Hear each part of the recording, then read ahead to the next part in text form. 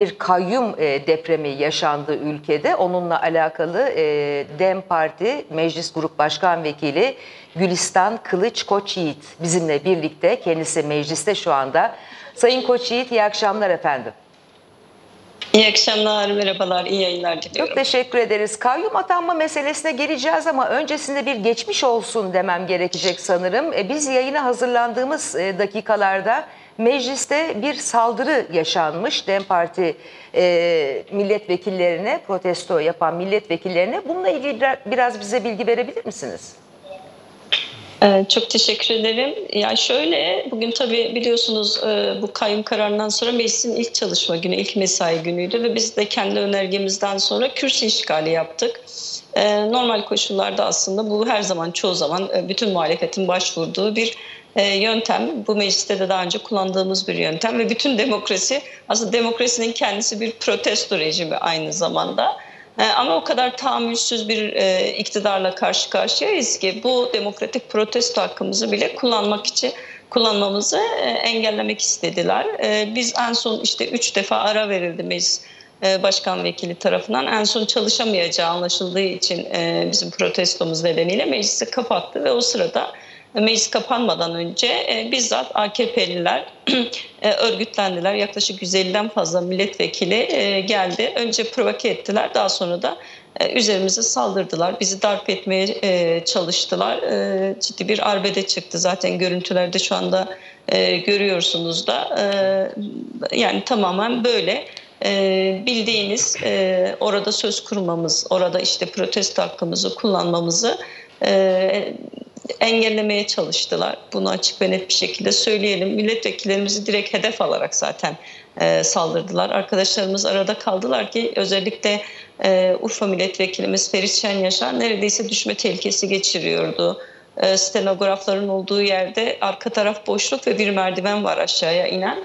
E, oradan sarkıyordu ve neredeyse aşağı düşecekti.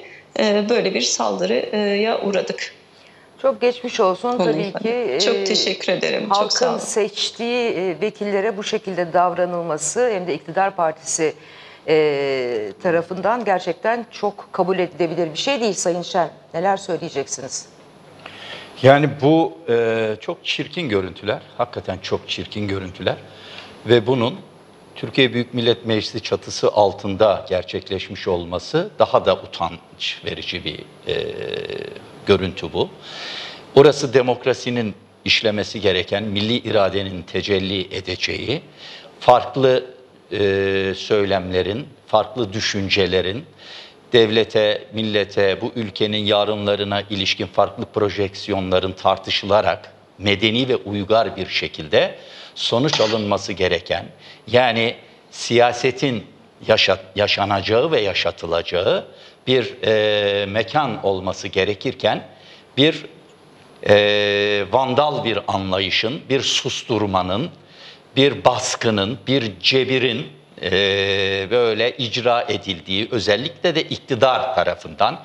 Hele ki son dönemlerde yumuşuyoruz, yumuşayacağız, normalleşeceğiz nidaları atan böyle bir propagandanın arkasına sığınarak aslında gitgide daha da sertleşen, gitgide daha da otoriterleşen, daha totaliter bir yönetim anlayışına hatta daha faşizan bir yönetim biçimine evrilen iktidarın e, yani en temel, en basit ve en temel bir hak olan protesto hakkını demokrasilerde olmazsa olmaz itiraz ve protesto hakkını böyle cebren engellemeye çalışıyor olması gerçekten hepimizin oturup bir kez daha üzerinde düşünmemiz gereken bir gelişme. Evet. Yani bu kayyum Yumruk atarak Hı? yumuşuyorlar Sayın Şen. Yumruk evet. atarak, vekil darp ederek yumuşuyorlar. Yani, yani evet, verdikleri, bu. verdikleri görüntü bu. Mecliste vekil darp ederek.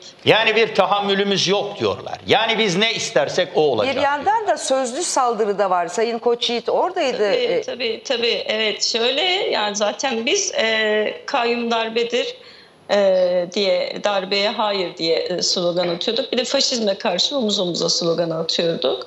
E, ve buna karşı geldiler. Gerçekten çok çirkin saldırılar. İşte sloganlar atarak işte e, ciddi sözlü sataşmalar yani kayıt olmadığı için tabii meclis kapandıktan sonra bu saldırı yaptılar. Böylelikle kameralar çalışmıyor ve mikrofonlar çalışmıyor. Bunlar kayıtlara giremedi. Yukarıda basının çektiği görüntüler var. Bir de e, milletvekili arkadaşlarımızın bir ikisi böyle çok e, muhalefetten arkadaşlar görüntü almışlar. Şu anda sizin istedikleriniz de muhtemelen yayınladıklarınız da onlardan ama çok örgütlü bir şekilde bunun özel olarak altını çizmemiz gerekiyor. Yani normalde teamül şudur yani bir, ikinci dönem ben milletvekiliyim mecliste. Geçmiş dönemde bu mecliste çok sabahladık, çok protesto yaptık. Yine bu Can Antalay kararından sonra hatırlarsanız Cumhuriyet Halk Partisi milletvekili arkadaşlarımız burada nöbet tuttular.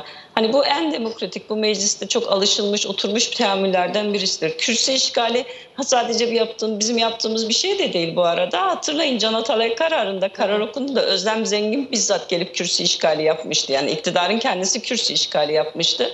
Ve bugün biz halkın iradesine atanmış bir kayyum gerçeği ortadayken, işte Hakkari'ye kayyum atanmışken, üstelik bugün orada heyetimiz vardı. Eş Genel Başkanımız, milletvekillerimiz, Cumhuriyet Halk Partisi'ne milletvekili arkadaşlarımız, yine e, Erkan Baş, Tip Genel Başkanı ve diğer birçok demokratik muhalefetin temsilcileri oradaydı ve orada açıklama yapıldığı sırada polis biber gazıyla e, milletvekillerimize, eş genel başkanlarımızın olduğu alana saldırdı. Diyarbakır'da yine aynı şekilde. Yani en küçük protesto hakkımızı dahi e, dahi tahammül edemeyen hiçbir şey. Yani biz kayyum atayalım siz de gidin evinizde susarak oturun. Biz kayyum atayalım ama gelin mecliste rutin gündemi devam ettirelim. Hatta anlaşalım. Şimdi 59 maddelik bir paket var askerlik kanunuyla ilgili bir e, makineler. Mesela çok rahatlıkla gelip hani bunu anlaşalım geçirelim zaten tek tek maddeler diyebilen bir iktidar aklı var. Yani ne yaptığının ya farkında değil diyeceğim ama hiç öyle değil. Yani artık şeyden çıkmış şirazesi kaymış gerçekten. Ölçüsü kaymış.